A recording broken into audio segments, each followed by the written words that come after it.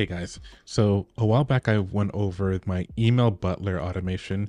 In it, I used it to fight back against hackers who hacked in my Facebook. You can watch the video here. The long and short of the story is that I got hacked, and then because of that, I created this automation that will watch my email for suspicious activity. This isn't an excuse to not use multi factor authentication. This is just one of those peace of mind type of thing for accounts that you forget about that don't that isn't as protected, um, but you just don't remember what they are because this is the internet in the 21st century. So, anyways, continuing on, uh, let's deep dive into the email butler automation. So it starts here with this email received. This is an event listener node. Um, it's basically listening to all the events, and we're singling out the IMAP content. Now, this only shows up if you have the IMAP integration installed.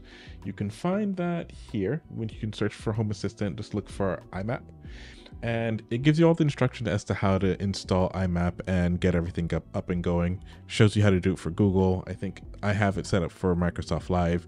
Uh, so you can figure it out watching that. But essentially, once you get that set up, you will have access now to the actual event. And once you have access to that event, uh, whenever you get an email, for every single email, you will get an event. So if you get 30 emails, expect 30 events. So next we have this function node in it. We're looking at the payload.event.subject. This is when from that event, the subject is the title we're just resaving it to something more simple. And this text here, event.text, this is the body. This is the body of the email, and we're going to look at that. We're going to basically clean it up, replace any of the they have sometimes have extra characters like new line characters, so on and so forth in there. We're just cleaning it up and we're trimming it down and simplifying it and placing it into this body um, property on the message. And then from there, we're going to use a regex search just to see if we find any of these words within the body. Uh, password account unauthorized. You can put whatever list that you want in there that you feel is applicable. Reason why we're doing this is that I don't want to send the body to GPT. I'd rather just send the title or the subject. The body seems pretty sensitive, so I'm not going to send a bunch of sensitive data up to GPT. However, if you are using a local LLM, feel free to send the body instead. You won't need to do this, what I have highlighted here. All right, so once we have that set, we're going to look at this is compromised. We've set this in the previous one when we did the whole regex search. If we see within a body that one of the words that we have flagged appears, this is compromised is set to true. The next four nodes here are my AI intent nodes, which you can watch a video of how to install it here. Uh, basically, these nodes allow you to easily access GPT within your automations. This first one here is a system node. I'm basically setting the context for the system, telling it that, hey, I have an email and this is its title. Notice that there's a curly, a single curly brace and we're pointing to title. This title is the same exact title that we set within here. So message payload event subject equal to this title. So what that single curly brace allowed us to do is it allows us to dynamically input new information into this system node, which is fantastic. Next, we have the user node.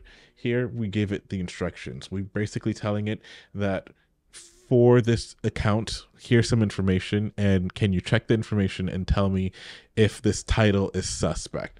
If it is suspect, can you just return to me this JSON object and it's going to return it as a string. It's in double curly braces because if we have a single curly brace, uh, node the node environment is going to try to evaluate it which isn't what we want. We need it to just simply print this out as is to gpt so the double curly brace is an escape. Next we have the chat this is basically the settings that we're using for GPT. It's going to send the information to GPT and return the response. Once the response come, we have the OpenAI response, which makes it a bit simpler. So it makes it consistent and easier to read. And then we have the simplify payload, which simplifies it even further. So we're going into the payload, looking for the response, and just we're going to just resave that response to the payload. So that way the string that GPT returns will simply be this payload we have this convert to JSON node. So this is the JSON node. what since it's going to be a string, we're expecting GPT to return to us a string of a JSON.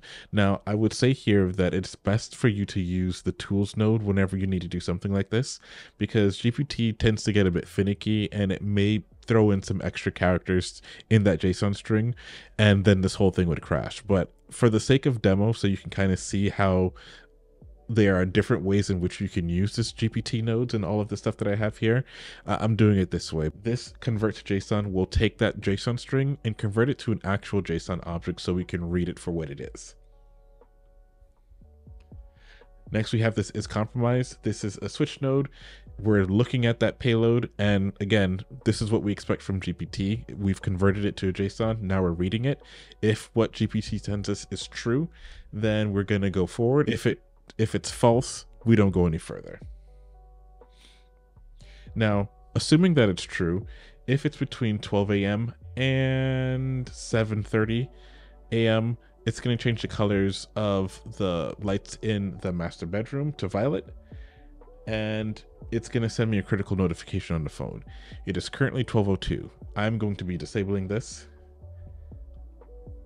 and lastly, it's going to send a message to my phone via K. Uh, you can ignore this. This is a custom subflow that I created that's specifically for me to work with K. Uh, if you have your own way of sending messages to your phone, by all means use that. All right. We sent an email. We're basically saying that the account is compromised. We've noticed suspicious activity. Change your email or change your password now. Let's see what happens. See that running? It's supposed to change once it finds the email. There it goes. So it ran. I felt my phone vibrate. And if I show it to you, yeah, it says that you need to check your email for suspicious activity. Look for the email titled Your account is compromised. So this worked if I had the other part of this email or this automation activated, it would have changed the color of the lights in the master bedroom and made noise with this. I wasn't trying to do all of that. So yeah, hopefully you guys learned something new from this or gained some inspiration. All right, that's it. Bye.